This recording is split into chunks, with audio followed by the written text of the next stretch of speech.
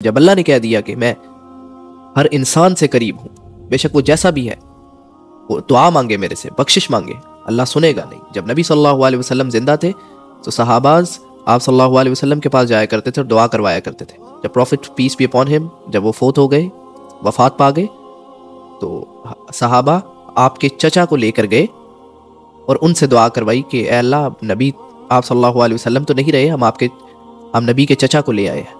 तो खूब बारिश बरसी।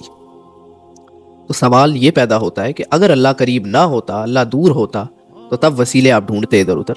लेकिन जब अल्लाह ने क्लियर कर दिया बार बार कुरान में कि मैं करीब हूँ, बहुत करीब हूँ, मांगो, दुआ मांगो, अल्लाह खुश होता है। अल्लाह बहुत खुश होता है। जब कोई इंसान उससे कुछ माँगता है, कुछ भी।